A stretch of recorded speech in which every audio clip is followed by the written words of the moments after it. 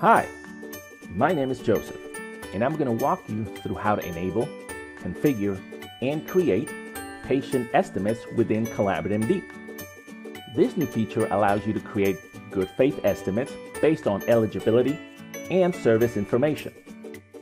With the enforcements of the No Surprises Act, we want to help you protect your practice and patients by providing patient responsibility estimates.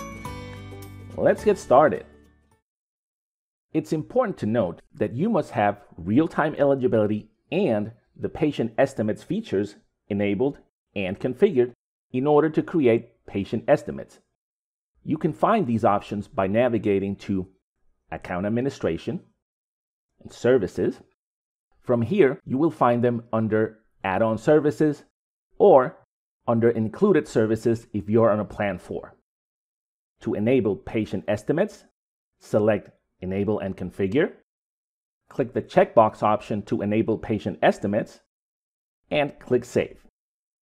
Once both real-time eligibility and patient estimates are enabled, we can now create good faith estimates for our patients.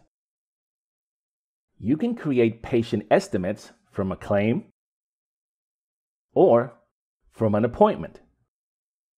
For this example, we will be creating it from the appointment scheduler. To create a new patient estimate, open the patient's appointment in the scheduler and select Estimate from the blue side panel. Then click New Estimate. If a claim already exists, select Find Claim to select the claim and import the procedure to use for this estimate. Otherwise, select the procedure code you would like to create the estimate for. Please note that in order to create an estimate, the CPT codes must be associated with a contract.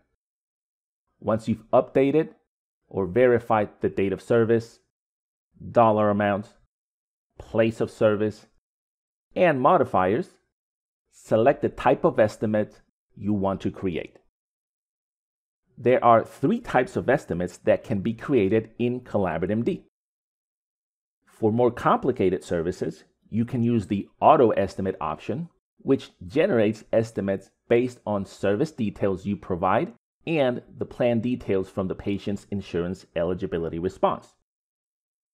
You can use the quick estimate option, which will quickly create an estimate based on the copay set on the insurance policy for office visits. Or a custom estimate, which allows you to customize the patient responsibility using the copay, deductible, and coinsurance, as well as manually entering an estimate amount. Once you have your estimate amounts, click Save. Once an estimate is created for self patients covered by the good faith estimate provisions of the Federal No Surprises Act, or for any other patient type, you can now quickly print an NSA compliant estimate for that patient whenever you're legally required to do so. You can also send an estimate statement via mail or send an electronic statement to direct patients to the payment portal where they can also review and print their estimate. Customers can now also post payments towards the estimate or point the patient to the payment portal so they can make payments online. Customers can also create payment plans for estimate statements to allow patients to pay those estimates in installments. Please note that in order to send statements for estimates, the statement templates must be configured first. Also, in order to use the payment portal, in app credit card processing must also be enabled and configured.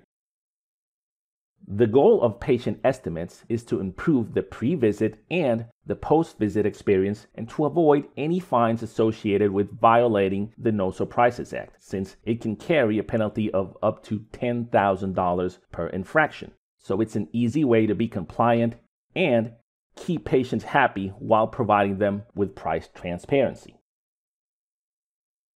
If you have any further questions on enabling and getting started with patient estimates, or for step by step directions, visit our Knowledge Center at help.collaboratemd.com. And don't forget that you can also chat with our support department or create a support case for additional assistance. Thanks for watching.